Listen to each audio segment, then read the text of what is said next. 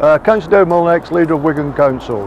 The good news is that the green light's now been given for the redevelopment at Wigan Pier. And we're going to see now the attractions of a gin distillery, microbrewery, event space and accommodation, which I think is fantastic news uh, for the future of the pier.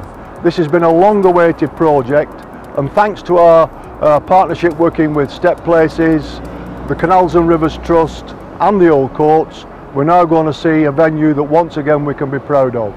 And you'll certainly see major changes which will be a boost for the town, which will be a boost for the districts around Wigan Pier and with the developments that are now planned in the town centre, bringing it closer to the town centre in terms of what it has to offer.